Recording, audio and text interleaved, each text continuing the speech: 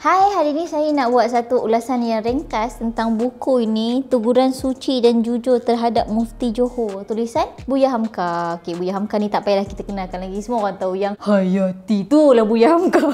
Itulah dia buku yang paling famous Segelamnya kapal Benedict tu. Yang ini ialah buku yang sebenarnya famous juga. Yang pertama kita kena tahulah background buku ni Ataupun tulisan Buya Hamka ni. Tajuk pun Teguran Suci dan Jujur Terhadap Mufti Johor. Mufti Johor.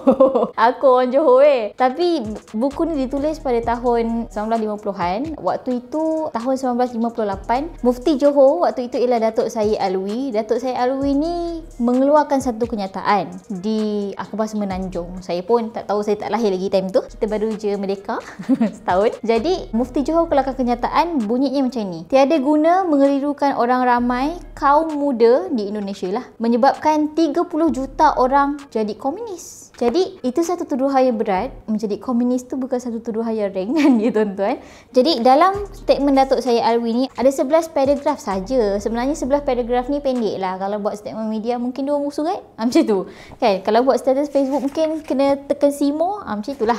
Pendek. Ha, kemudian dalam tulisan dia tidak ada bukti yang kukuh. Tidak ada disertakan dengan fakta. Itu satu perkara yang sangat bahaya sebenarnya. Daripada satu statement media ataupun satu sudut keratan akhbar ni, Buya Hamka tulis satu buku. Satu buku. Satu buku untuk menjawab setiap ayat dan paragraf dalam kenyataan Datuk Mufti Johor tu. Punya power, satu artikel balas satu buku. Ya Allah, tuanku panjangnya. Tapi jangan risau, bila kita baca kita takkan boring pun sebab Buya Hamka menjelaskan dalam keadaan satu persatu. Eh. Misalnya bahagian pertama ni, perbandingan kaum muda Turki dan kaum muda Indonesia. Buya terangkan, menjawab balik tuduhan Datuk Syed Alwi, mana ada kaum muda Indonesia dengan kaum muda Turki tu sama. Kaum muda Turki tu gerakan politik, kaum muda Indonesia tu gerakan agama. Jadi ia sangat berbeza. So anda boleh tahulah macam Ha betul ya kenapa Datuk Mufti cakap macam ni? Ah ha, kita boleh acknowledge benda tu. Bila saya baca buku ni, saya belajar untuk tidak mengeluarkan kenyataan yang vague. Yang vague ni maksudnya yang sangat umum, sangat general, yang tidak disusuli dengan bebahan bebahan-bebahan pun boleh. Yang tidak disusuli dengan bebanan-bebanan bukti ataupun fakta yang kukuh untuk support apa yang kita dakwa tu. Seolah-olah kita bagi konklusi tanpa kita bagi sistem penerangan sebelum tu. Ia sangat tak sihat apatah lagi untuk dibuat ataupun di